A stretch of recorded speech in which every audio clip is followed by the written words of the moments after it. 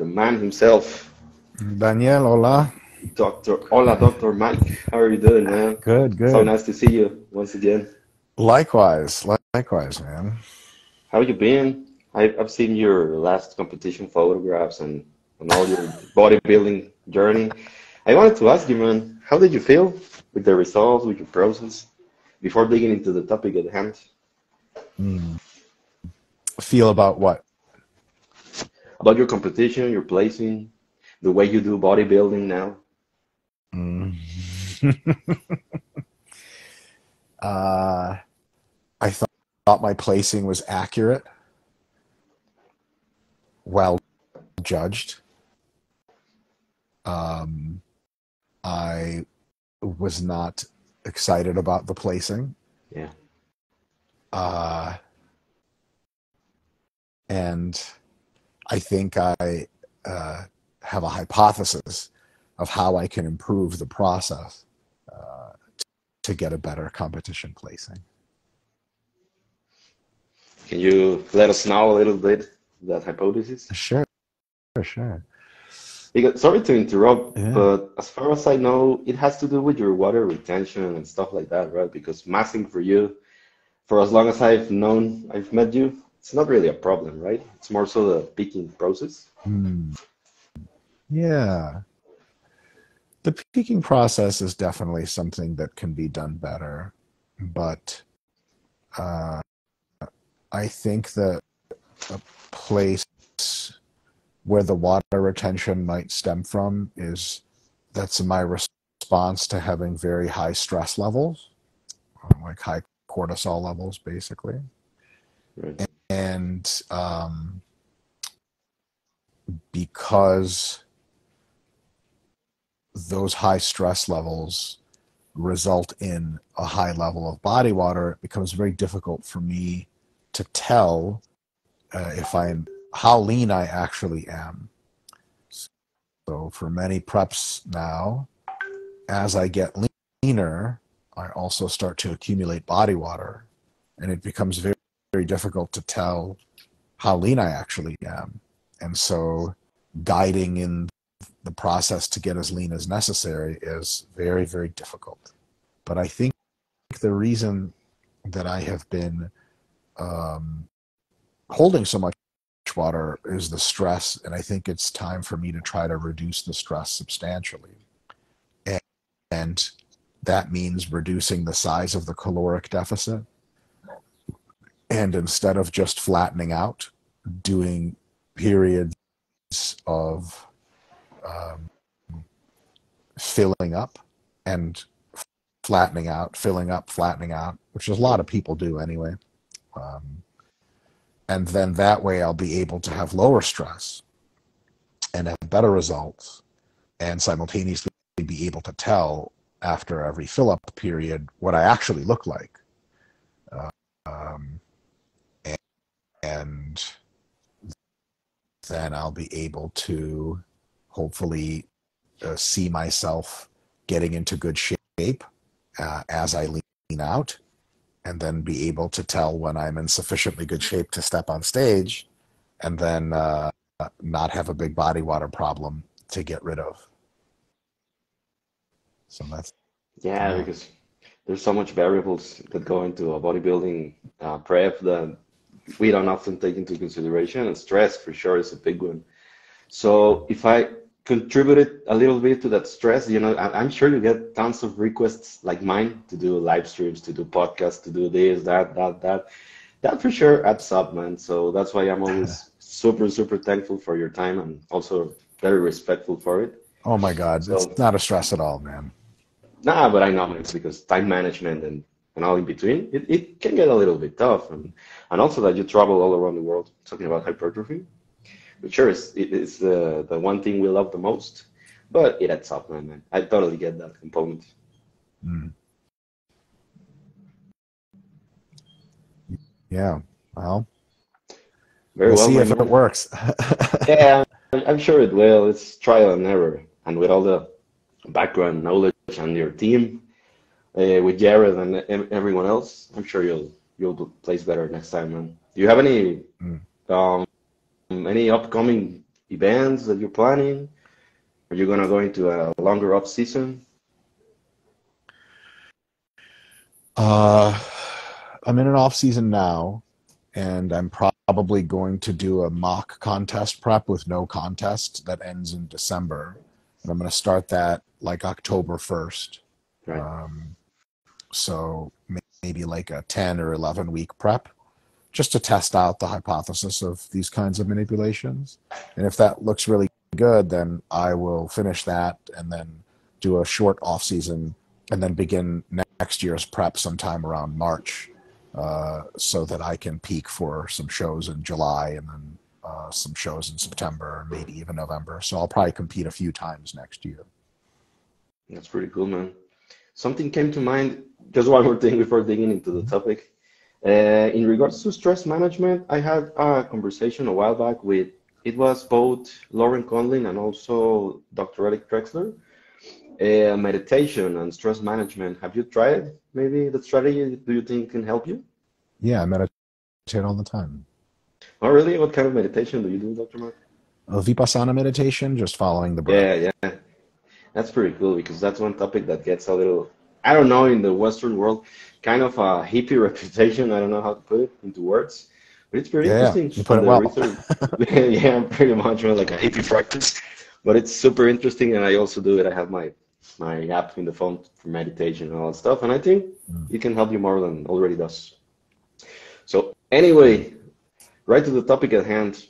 I wanted to ask you specifically about this topic because, like I, I, I already mentioned you in in, a, in a conversation in Instagram, I talk about this stuff with Milo Wolf and also with with Dr. Eric Helms. So of course I needed to ask the man, the full ROM man himself, about all this research and most importantly, I think for me and for the audience listening, what has changed in regards to your views on full ROM? Because just as a segue for you, I know full ROM, like a, let's say a, a brand, a branding, it's not really ideology. I know that it comes from just showing the bros at the gym that hey, there's something interesting going down there in the squat that you should perhaps aim for, not as a way of saying I am full ROM. You know, I'm not, I don't, I don't, I'm not sure if I'm being clear about that, but I wanted to start with that. Why the full ROM on itself, the name full ROM, and digging into the research on length and partials, and more importantly, what has changed for you?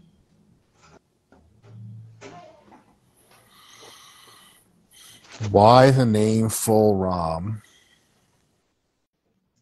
I, I forget why we came up with that. Um, uh, full range of motion is the default assumption of how you should be training when you have only theoretical assumptions and don't have much research directly to back up things. So, if you think about how muscle functions, how motor units are recruited, how tension is supplied, and how growth happens, you think, okay, um, if I want full muscular development, taking the muscle through its full range of motion seems at least uh, a priori decent assumption to make. And there's some convincing literature on the fact that some motor units are only very active at some portions par, uh, portions of the range of motion. That helps that. Another thing is that if you use a more full range of motion, you have to use less load externally, and that reduces joint stress. Another one is that by going through a full range of motion, you you don't have any weak points to expose. So if you slip up in your technique, nothing bad happens. If you're squatting to partial, but then you go a little lower than you're supposed to, you're just really not used to that part of the range of motion. You could get very, very hurt because you're unaccustomed to it. Another part is that um, we've been, myself and some friends of mine, have been training with a relatively full range of motion for a long time. And we also have been training a long time with partial ranges of motion. And generally, the full range of motion training has led to uh, less fatigue perception for us, a bigger perception of stimulus. seemingly better results and way fewer injuries. So, uh, uh, yeah. So that's how we got into the full range of motion situation. And, and so, what my philosophical position on the matter has been for a long time is that full range of motion is the default hypothesis of how you should train, pending any good reasoning to modify that. And the recent literature on lengthened partials has given us some good reason to modify that. So that's my position on sort of where the full range of motion assumption comes from. Yeah, for sure. Because when we often think about full range of motion, so, sorry, versus partials, we think about the shortening of the muscle. Um, I don't know, let's say bicep curls, we think about the full range, and then as partial ranges, we tend to think about this little portion. So I think it's really important to clarify that we, when we talk about partial ranges of motion, we're talking about, let's say, a preacher curl, the full lengthening, and perhaps up to that point. So it's really uh, important to have that in mind because when I first encountered this research through the mass research review, uh, I thought it was going to be like some sort of fad, like, did I read this right? Am I getting this correctly? And the more research and the more research that, that comes out, and also the, the meta-analysis by Milo, which funny enough, uh, he used to work with you guys, right? Or I don't know if he still does in in RP Strength. Say that again. Did Milo used to work with you guys in RP Strength? Milo mm-hmm. Wolf. Yeah, yeah. Yeah, I find that funny because when full rom, full rom, I'm sorry, and then he's kind of the the poster boy for lengthened partials. So anyway, just a brief comment. I want to, to, to discuss with you what is your take on this research because I know it's not in all muscle groups groups that has been studied also, the meta-analysis, it's limited by itself and also the way that hypertrophy is directly measured. And digging into that, I'm, I'm sorry if I'm being uh, throwing topics and topics at you.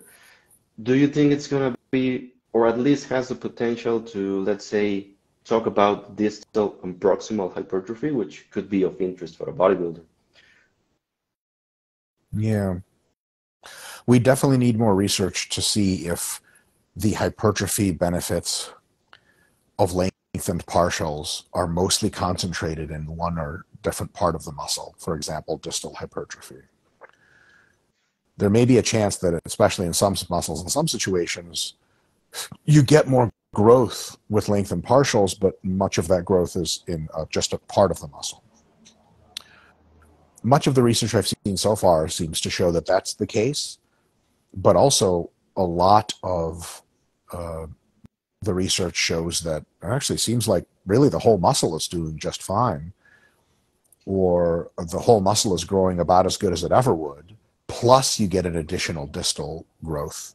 Whereas if you do uh, shortened partials, then you get similar growth for the shortened part, for the proximal part of the muscle, but worse growth for the distal part.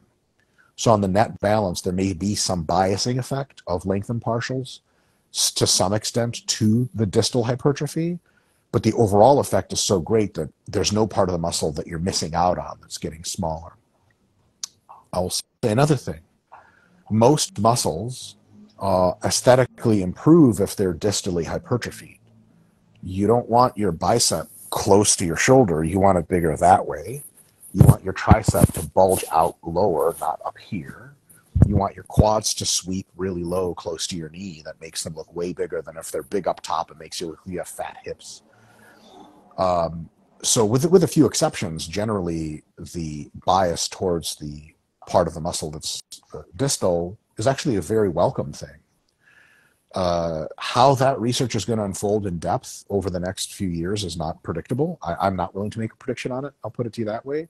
The good news is we have science that we don't have to make predictions. We just watch what the science does and we go, oh, okay, that's what's going on. So it's curious.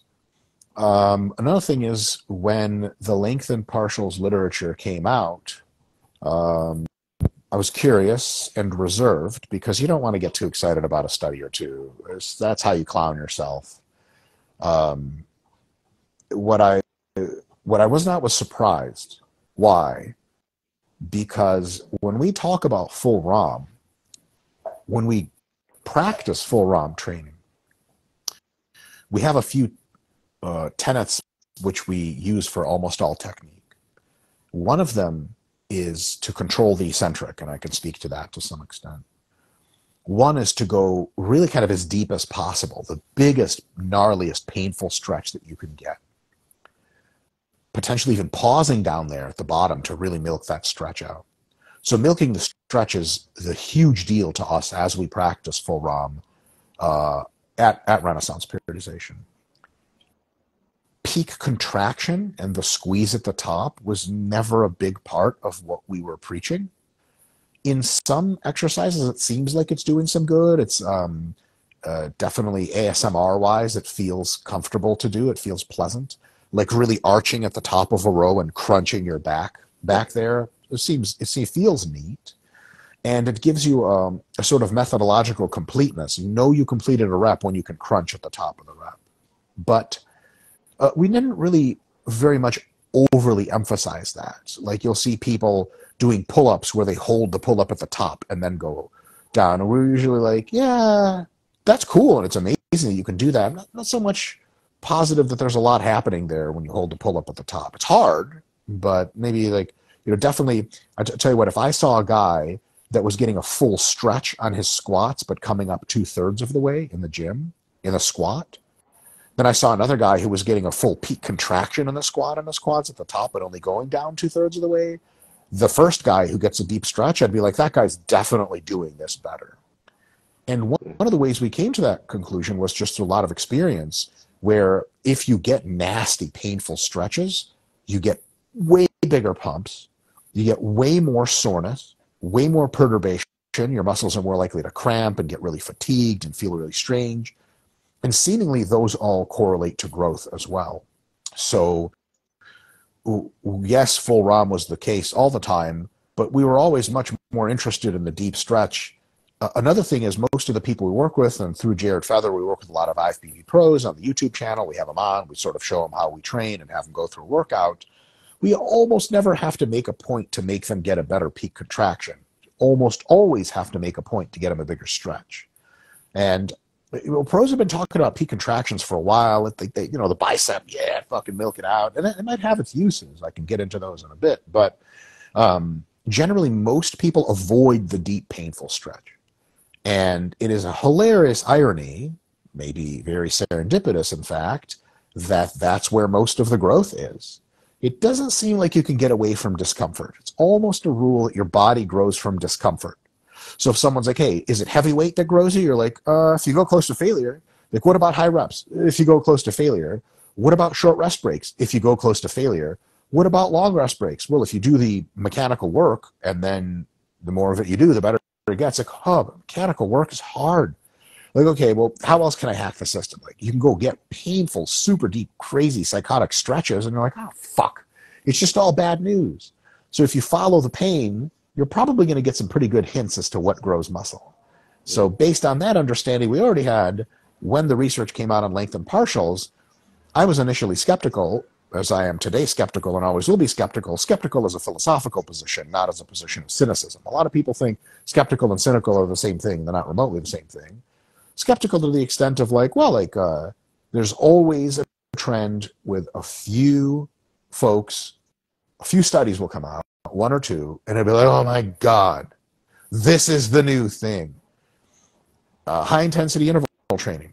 Actually have a video today uh, about uh, VShred, the VShred critique on YouTube. And he talks about, uh, you know, HIIT training. And like I said in the video, is 20 years out of date. We used to think for a few studies that, that HIIT training was this amazing way to save a ton of time, but then burn a ton of calories later. And it was this huge hack. And then multiple other studies came out and it was like, nah, it actually doesn't really do that. And then now it's like, okay, MISS, LISS, and HIIT are all fine modalities to do for cardio, just uh, situationally dependent. So I'm trying to be careful not to over index on lengthened partials. Be like, ah, that's it. This is the way that you need to train forever. Fuck the last, uh, you know, half of the range of motion. It's stupid. It's a waste of time. And I would say that might be true. But from now, my default hypothesis before this research came out was full range of motion. Here is only lengthened partials at the bottom 10 degrees, okay? Mm-hmm. I've moved right here here ish. So now, anytime I do an exercise or teach an exercise, I'm more keen to emphasize spending more time in the stretched position, architecting the exercise to be more stretch loaded. Uh, for example, if you curl with the cable stack in front of you, you not much happens at the bottom and a lot happens at the top. But if you turn around and do Bayesian curls, Menno Henselmans curls, you know, stretching behind you, when used to be like experientially, I knew those fucked me up more. But I thought, well, variation's good. I'll use the other curls. But now that we have really good data on the fact that like, oh wow, actually the stretch works better, I'm more inclined to choose exercises that are more stretch mediated, more inclined to milk the stretch out of those exercises, more inclined to modify machines to give me a better stretch, more inclined to spend more time in the stretch position. So two or three second bottom pauses, a really slow descent into the bottom part of the bench press versus kind of a fast rocket back up. And uh, I'm extra less worried than usual, less concerned than usual about the top of the concentric portion. So, like in a lat pull down, if it touches my chest, I count that as a rep. Does it have to like touch and stay there? No. Do I have to crutch my back? No. That seems to not matter much. Uh, for a while, I was like, okay, should I do uh, pull ups where I pull to the chin, or should I do pull ups where I pull to the sternum or the clavicles? And now, based on that literature, I'm inferring that, you know, sorry. Uh, based on that literature, I'm inferring that, you know, if I just get my chin to the bar, that's like a good pull up. And it's funny now because, you know, like I'll post almost all my training on uh, Instagram. And every now and again, people will be like, cheating those pull ups. And I'm like, oh, how? And they're like, you're not getting your chest up to the bar. And I'm like, why should I get my chest up to the bar? And they, you know, they don't have any reasons for it. They're just some kind of like attachment to full ROM for its own sake, which is a big, big problem and a problem I'm not interested in committing. So there is, I assure everyone, no dogmatic attachment to full range of motion. If yes. the evidence keeps being clear that lengthened partials are superior in every conceivable way, you will see me start modifying my training incrementally more to focusing on the lengthened portion of the repetition and incrementally less focus on the top end. So, man, you touch a lot of interesting uh, sub questions that I had for you, and one of the first that comes to mind is the SFR. Let's let's say pull-ups. I think pull-ups is a good example. The last bit of the pull-up when you perhaps you're touching with your chin or with your sternum, I think it can drastically change, or well, at least significantly change the SFR and also the proximity to failure because let's say you cannot go up, up, up, but perhaps up to this point, you can maybe squeeze two, three more reps and also change the proximity to failure, which I think it's one of the interesting points to have to, or at least have in mind when training and choosing um, the range of motion that you're going to use in that particular movement. And also the other question that I had for you, how to standardize. Because for some people, the, the the main critique that goes for lengthened partials, it's when to stop, when, what is what constitutes a rep.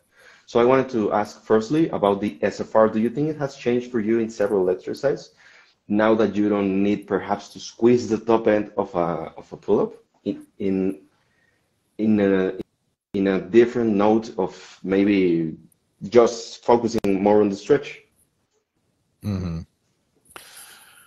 Uh, there are definitely exercises which I have seen improved SFR in focusing more on the stretch and less on the contraction. One of them is calf raises. So that peak contraction at the top, like it's cool, but uh, uh, if you get a deep stretch and come back only halfway up and go back down, I've noticed that my calves just get predictably more sore for the same number of sets, and uh, they get better pumps. And I'm like, okay, well, this is fucking sweet and um, so that I definitely have noticed. I think that's been uh, a bit of a change. What was your second question? The first one was about SFR, and the second was SFR, about the second tracking. tracking. Tracking. Yeah. The what is a yeah. rep when you're talking about length yeah. portions? I mean, I think it's not so hard to figure out what is a rep. You just need to set a standard for yourself. So you need to say, okay, you know, on the bench press, I'm going to come down when my arms are like at, you know, whatever, let's say 120 degree angle, and then come back down as opposed to a full lockout. And then it just comes down to honesty with yourself about what it, when, when is failure, when I, when I cannot come up to 120. And there I would say I use a, an interesting system. Uh, you can call it, this is a two step system you know roughly where you think failure should be. Your last repetition that you did, you might have not gone high enough, right?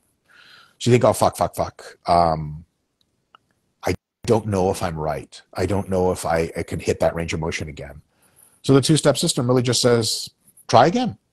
And if you fail, if you for sure don't go as high as you thought you were supposed to, yeah, that's failure. So a lot of times just using a two step system and a very rough landmark can get you a considerable degree of accuracy, definitely enough to track if you're honest.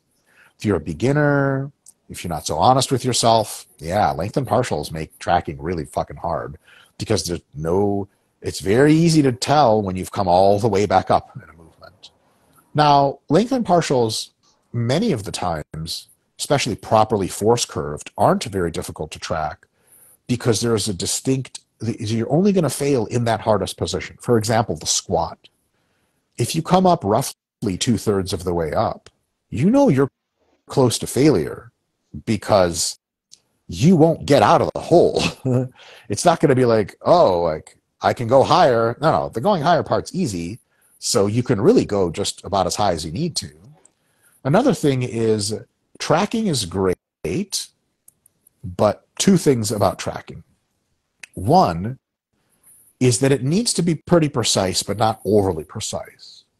There are some people that are very concerned about tracking to the point of like, well, did your elbows look like this or did they lock out? See that like that or like that, like that or like that?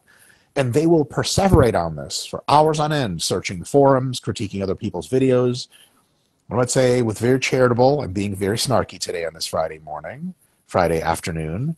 Uh, but uh, most of those people are just exhibiting traits of mental illness. Like you're just not well. Uh, seriously, not a joke. Like you're just very neurotic and very, very OCD. Like take this from a neurotic OCD Jew like myself. I feel you. I know exactly what you're thinking. There is some when when this is here, when this clicks into place, there's some magical degree of yes, it clicks. It's the right answer. It's either one or zero. Mike Mentzer, Ayn Rand. I get it. I get it. Yeah, yeah. But you don't need to go nuts about it. You need to understand that tracking can be done with a limited but very useful degree of precision. Where the two step method is really good because it's like, oh, did I hit it? I don't know. Did I hit it now? Yes, keep going. Did I hit it now? No. Okay, I'm done. So tracking's not that difficult. And this is a point I think Milo has made pretty well himself. Like tracking is a problem, but it's a tractable problem. The other thing is this how important is tracking versus the imposition of a proper stimulus?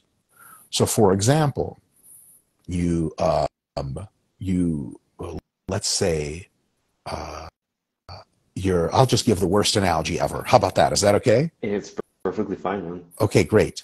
So you. Just, I'm hope I hope we don't get flagged out again. Oh, oh we're gonna get flagged. Did I, we get I flagged last time? No, no, I don't think so. But I did see your thumbnail with the, the thing in your mouth, and I was like, "Oh, gone. here comes here comes trouble, man." but anyway, the go Instagram, ahead. The Instagram police got us. So, if you are uh, you're on a date with a beautiful girl, right? Let's even say a beautiful Mexican girl. Oh, like shit, Jared Feather is probably on a date like that right now. So uh, let's say that you get home or whatever, and she's like, you know, whatever. She's like, "Ay, Dios mío." Uh, what is it? Uh, how do you say uh, uh, touch me? Um, let's put it in sexy words. You would say, "Oh, papi, por favor, tócame." Tócame, tócame ahora. And she would. Um, all right. She, she would point the. I'm oh sorry. yeah, oh yeah, my man. You've had, five, I'm sure, no, doubt, no yeah. doubt, lots of experience. So had my share, had my share. Yeah, yeah, yeah, yeah. and she's like, "All right, do me, like whatever." She's like, "Tócame," and you're like, "Let's do it." And then you're like having sex in a certain position, right? And she's like, "Hey, flip me over and do me this other way," and you're like, "I can't do that," and she's like, "Por qué? Why not?" And you're like, "Um, I count my strokes one, two, three, four, right?" And I can't count from that other position. It just like confuses oh. me. It's off, right? and then she's like, "Okay." Turns out she's a philosopher, and she's like, "Let time out, time out, time out, time out." You're, you get your dick out. She's like, all right, all right. what's more important to you? Tracking the number of strokes or giving me a fucking orgasm, you asshole? and you're like, ah, I guess the only purpose of us being here is that sex should be fun. It's the whole point of sex is everyone's having fun.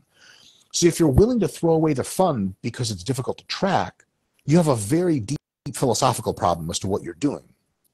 And so this is something that Milo Wolf and uh, Dr. Pack made a very excellent point on a podcast we were on once. Tracking is important, but if you are for the purpose of tracking, not using an effective strategy like lengthened partials that is more effective than full ROM, then you're saying tracking is more important than getting the results. Wait, wait, wait, hold on a sec. But why are you tracking? You're tracking results, you dumb motherfucker. So it, it's like uh, this insane, insane practice where we take the good thing, and because it has a little problem, you go, uh, I can't do this right? It, it's like similar to seeing a really hot girl who's interested in you, and you're like, oh, she looks amazing, and you're like, are you going to ask her out? You're like, nah, I don't like her hat. And you're like, what? That is a surmountable problem. You're like, ah, that's too much. So yes, tracking is important, but if we have decent tracking and the return on investment is we have an excellent, better stimulus with length and partials, it's worth it to no longer be able to track uh, in a way that is obsessive compulsive and perfectionist and precise. So there's something to be said for that. Yeah, for real. And I think the term, I think it's coined by by Milo. It's training hygiene, where you're supposed to just yeah, for sure, man. I, I heard, I've heard it from him. I don't know if he took it Sure. from It's a, somewhere, it's a good term. else.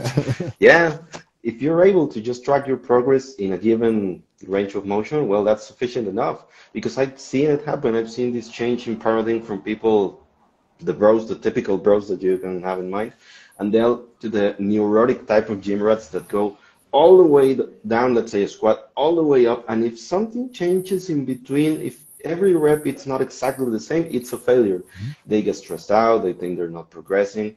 And I, I get where you're going at. It's it's really not a problem at all because I've been there too. Uh, uh spe- specifically with the with the pull-ups, with the pull-up example. Mm-hmm. If I didn't touch with my chin the bar, it's a failure of a set, and you know, it kind of gets stressful. And I think it's not for no benefit at all, for no benefit that end of the the, the last, mm, let's say, range of motion, Mhm. instead of focusing on the stretch and just standardizing in a range, not in a fixed, I don't know, position, you know? mm-hmm.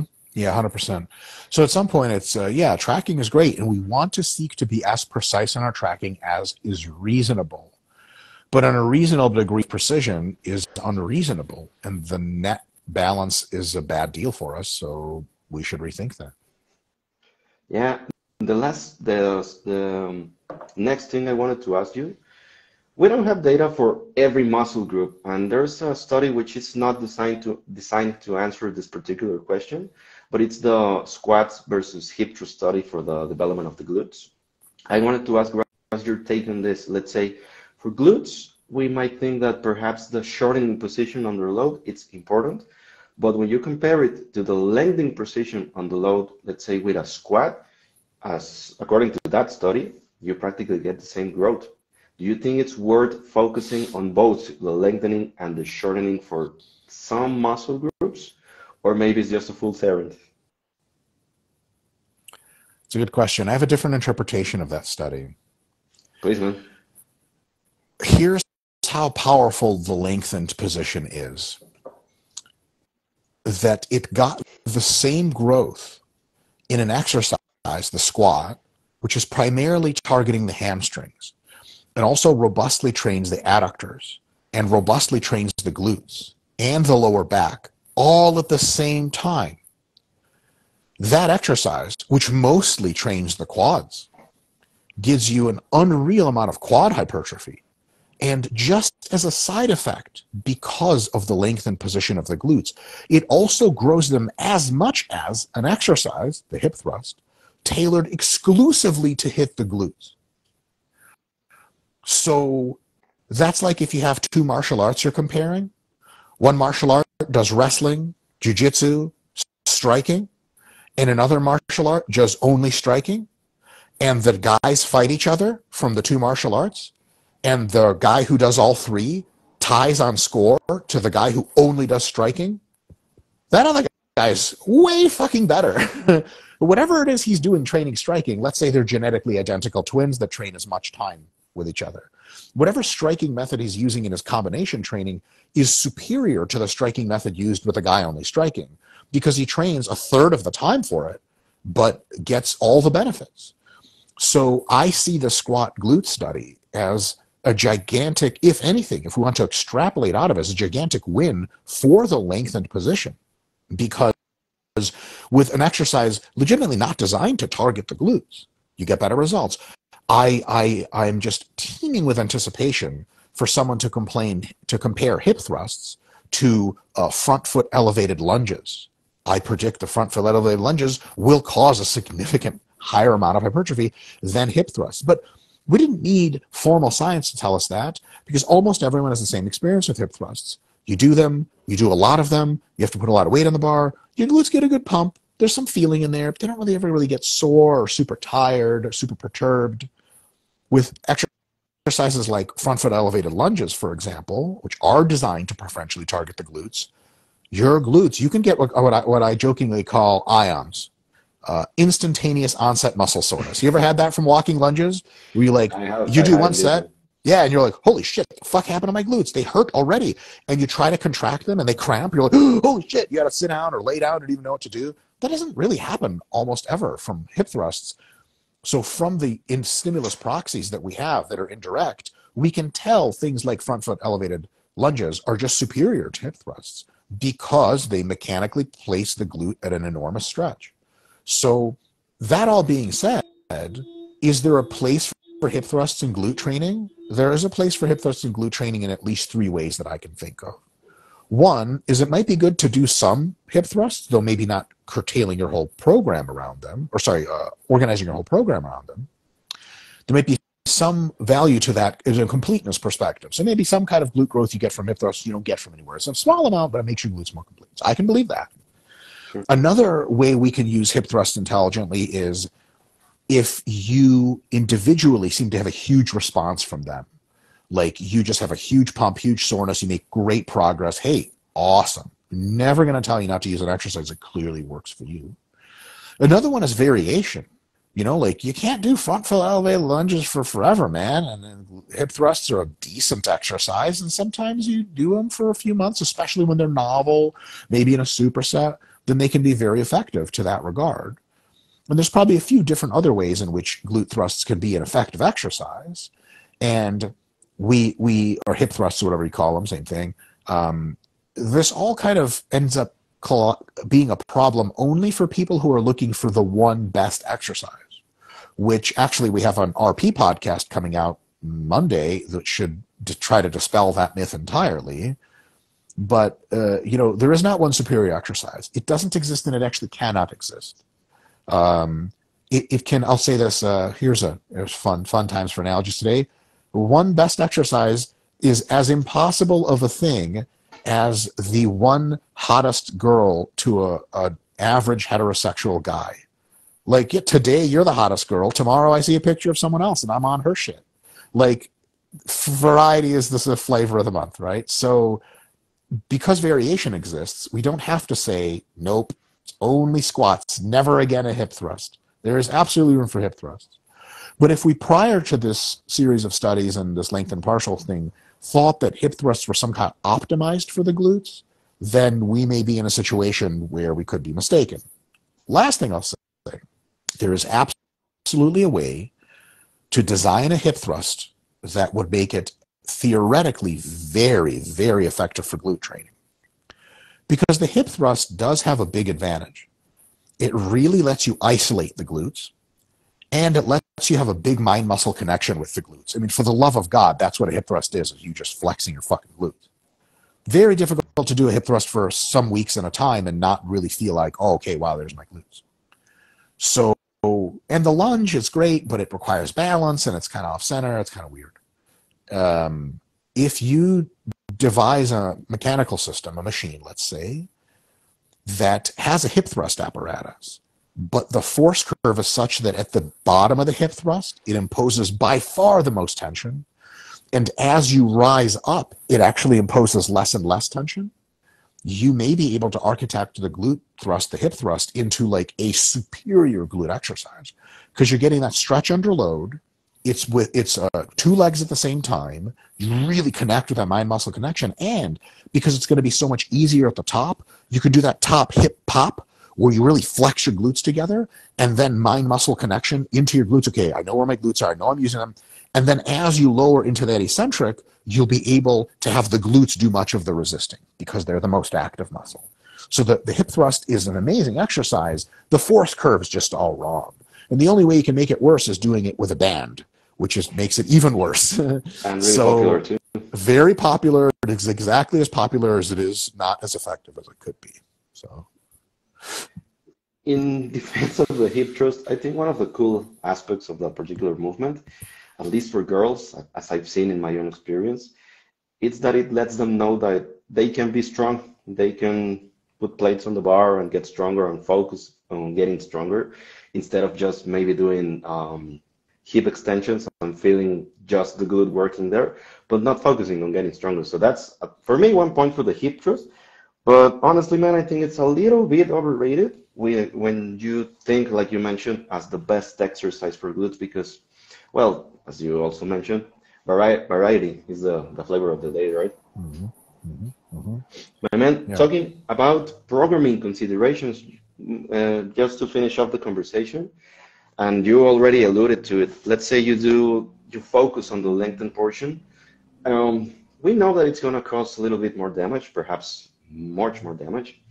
How do you tend to program these movements, and which movements, and also for which muscle groups? Because that's one we one thing we don't really know from the the, the science of it. Does it lengthen partials apply to all muscle groups? Perhaps it does, but we don't have the data for it. So how do you personally program for this if you include them in a program?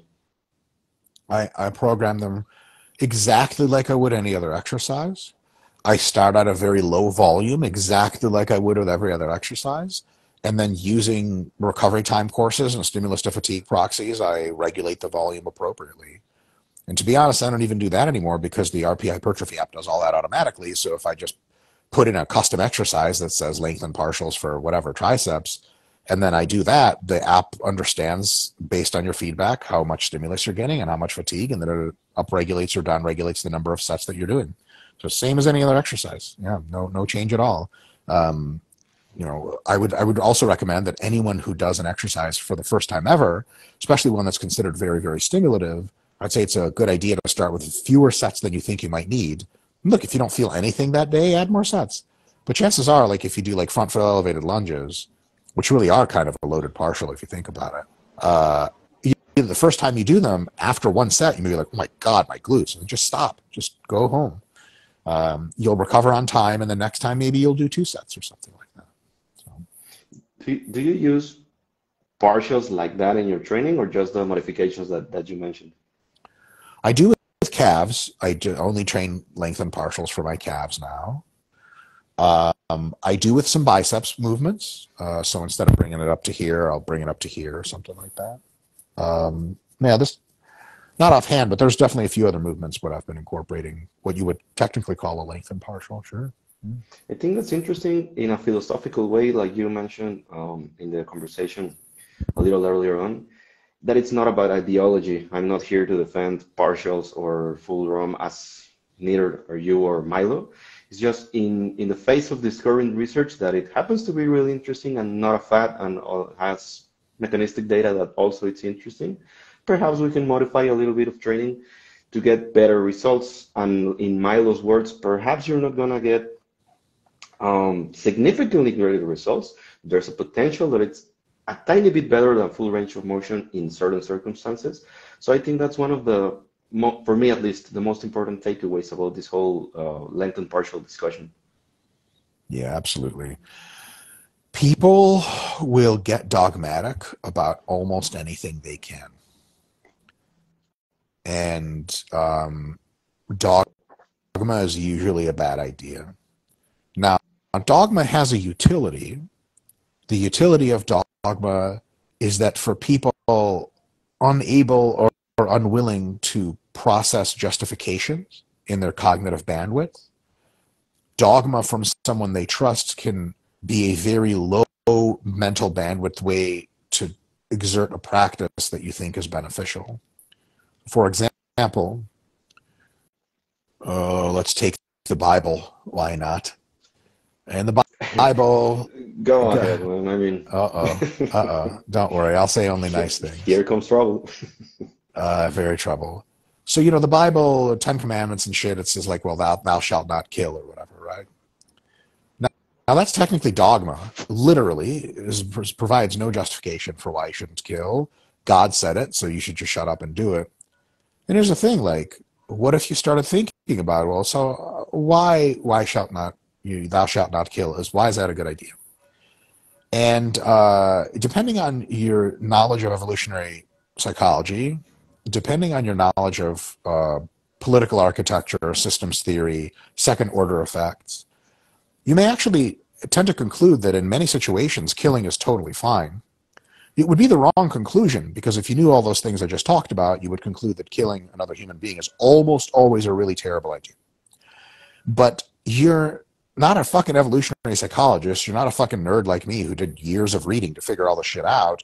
And as a matter of fact, some of the stuff we didn't even know but 50 years ago. Definitely didn't know a lot of it 100 years ago. And 2,000 years ago or whatever ish, when the Bible came around, I mean, fuck, man, we knew almost none of it. So dogma has a really, really good utility of being like, just shut up and take this advice. It's good advice. And go, okay, I believe. And that's it. So it has a utility. So I understand why almost everyone is inclined to be dogmatic because it's just a, it's a space saving device in your brain. But nowadays, with evidence based shit, we don't necessarily have to be dogmatic anymore because you can listen to nuance and say, oh, that's interesting. Uh, maybe I'll try it this way. And I can also say that there's maybe a mild use of dogma that's sort of beneficial in like a halfway dogma, which means that you do some research and you do some reading and maybe you just like um, come to the conclusion that this practice I'm doing, let's say full ROM, this is a good practice. I'm convinced by it. And what you say to yourself is, look, unless I get very convincing evidence change my views, I won't. Why? Because what I'm doing is good enough. It seems like a great thing. And I'm not just going to change every day one way or the other. It's going to cost too much cognitive bandwidth for me to just snap off. So what you can say is like, okay, I'm not doing length and partials. And then three years after the research is very clear that you should be doing, and then a bunch of people are doing it beneficially, you go, okay, I'll start length and partials. Then you're just being playing a conservative game. You're not you're missing out on a little bit, but you're not missing out on much because you have a dogma, but it's a soft dogma. So it's like mm. I'm going to really need some convincing to show me that some other way is true, and I'm not going to be this purely scientific person that's always floating in the mystery. At the end of the day, you go to the gym, you can't have a lot of mystery. Like you got to know what you're going to do for that exercise right now. And if you're not a fucking nerd and you don't need to spend all of your time doing research on exercise, then some simple things like always use a full range of motion can be like 95% of the way to the truth. The other 5% is, and in many contexts, length and partials could offer some superiority. You're like, oh, what the fuck is that? You don't need to know. Just do full range of motion. And maybe we can tell you full range of motion, especially accentuating that deep stretch. Hey, now we're 98 and 99% of the way to the truth. And so for a lot of people, you know, this whole like, oh, it's no dogma, like it's okay to have a little bit of dogma if it has a good utility to you. But just try to understand that don't make dogma emotional and personal because a lot of people will do that with everything. They'll say, oh my God, you're doing sets of 12, like you're an idiot. And you're like, holy shit, how did we get this far? So it's cool to have some views that you're not willing to change just for any reason at all, but always remember that uh, okay, well we can do a little bit better uh, than you know pure dogma, and some mental flexibility is probably a good idea. I think this, there's a Richard Feynman quote that goes something like "Keep your mind open, but not so open that your brain falls off." I yeah. think it's really important to have that in mind. Uh, ironically, because in social media you can see these discussions about let's say full ROM partials about high volume low volume high intensity you know all the stuff. And in nutrition is no exception. And i think with the more access we have to information and science the less people develop their own personal critical thinking and their own personal let's say way of approaching how's the word? Let's say engaging in this in this particular information because it's complex. Science is really complex and that's why we need people that give us all the nuance like you do and other other people in the in the field, like let's say Helms and all of them. And for some reason, it's really difficult to understand to some extent for the majority of people that it's not ideology when we talk about training about nutrition. Yeah. Just to, as, a, as a final note, what advice could you give people that are in this dance of not knowing what information to, to hold on to, what how to identify people that go with this black and white beliefs? Yeah. if anyone is too dogmatic, they're probably not an intelligent way. Uh, they're not an intelligent choice to follow. You know, if they're like, I'm super correct and everyone's a fucking idiot, there's a probability that they're correct and everyone's an idiot, but that probability is very low. So you want people to give you a little bit more of a measured take. You know, like if you read the MASS Research Review, it's all measured takes, very few finalities, very few absolute statements. So that's very good. You also want to take advice from people grounded in the reality of the situation. You know, there are people giving advice on hypertrophy training that seemingly don't train for hypertrophy. And so their uh, ecological experience with hypertrophy training is either very low or just, just not in evidence at all. And so you can absolutely should take some of their advice. But if you have low bandwidth and you can only follow so many people's advice, you know, they're not high on the list of people you want to keep around. And um, other than that, you know, you, you, the last thing I would say is make sure that whatever advice you're following concords with logical examination as you see it and your experience. Like if if uh, we tell people, hey, listen, like full ROM is really good on a leg press, especially that deep stretch. If you start uh, trying it, most of the time you're going to be like, oh my god, my quads are fucked up. We're like, of course this is better. But if we said something else instead, like, well, actually, the top eighth of the range of motion, you know, like right here, that's what you should do. You try to be like, my knees hurt a lot and nothing really happened to my legs. I don't know if this is right. So you should definitely practice things yourself and find out is this piece of advice that this evidence based or whatever person giving me, does it seem to be practically panning out in any way that I can imagine? And if it if it does, then amazing. Uh, if it doesn't, then uh, it looks like you got to think about it a little bit more. You know, so uh, that's kind of at least some of the wisdom I can share on that. That's awesome, man. I gotta say, the comment section on here has been crazy this morning.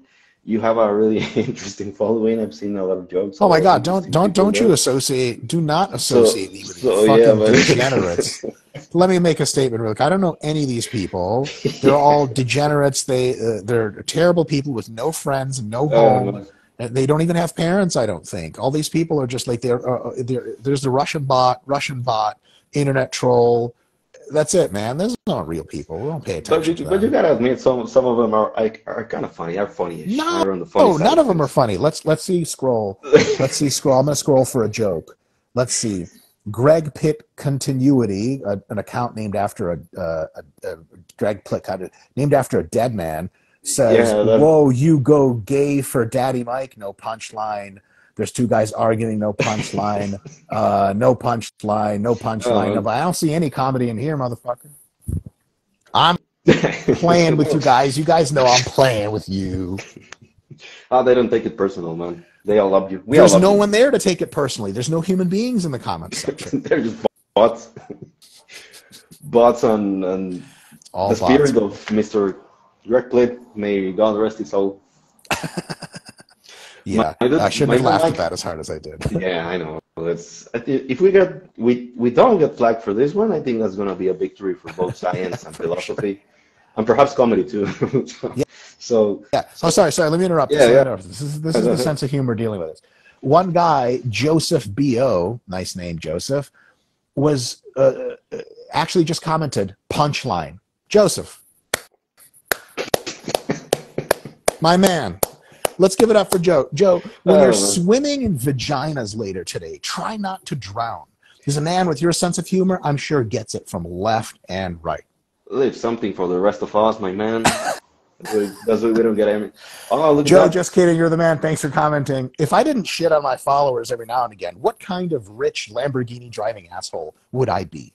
Yeah, for real, man. I think each conversation that we had over the years, you have like two, three Lamborghinis extra. So Thank you so naming for that, I. I, and I thank you so much. I, I, I, like to, I'm a very big supporter of an extraction economy. So any amount of money I can get from Mexicans, since their GDP is lower than America, it's even better because maybe it makes Mexico poorer somehow. I really love it when there's like the rich that have castles and then just poor people starving. It's what I'm And trying I- to go for. Unfortunately, Mexico has been getting richer uh, all the time. I don't, I'm not a big fan of that. I'm not a fan of other people getting richer, only me. No, don't sweat it, man. I, I've lived here my whole life, and I can tell you poverty, it's right next door. So I can confirm anytime, man. Just, just ask me, and I'll tell you, hey, how's, how's poverty in Mexico? But- it's still still going strong, man. Still good. You know, yeah, I'm from Russia. How's poverty over there? Much worse. Than Oh, shit, uh. I, I gotta say, um, I like that you're trying to calm me down, but I will say, um, you look like very well put together, and your apartment looks very nice. I'm not, I'm not like that. I don't. I'm not. uh, You're kind of scaring me. You're kind of It's doing well. I don't like other people doing. It's well. all, it's all filters, man. It's all, yeah, it's integrated filters. When you see me in person, you're gonna go, oh, there's Mexican person. Oh. it's a sombrero and the whole thing. Like every stereotype. Yeah, we get those. But you know what's the funny thing about Mexico? We tend to get angry at those stereotypes, but we're not exactly we're not exactly politically correct uh, with with other people, as you say. So Oh, I can feel. if you come to Mexico, you might see some of that, man. let let me uh, i'm going to go to mexico and ask how many of the people there are super excited about of like central americans coming up to live in mexico Oh, that's gonna be a tricky one. That's not, talking about myself, of course. of course but I, not of But, course but I know, but I know my people. yes My man, Dr. Mike, always a pleasure. It's been super insightful, full of comedy also, and also philosophy, which I also happen to love with the discussions. And also the, I don't know if you uploaded more videos on that on those topics, but I think it's pretty cool that you did that, man, talking about philosophy and other stuff oh thanks so much fitness. Because yeah, for real, man, I think it's more. There's a lot more to be said and learned than just the scientific side of things. sure sure hey do you want to see something scary really quick For sure. Really. Well, scary well, I think so.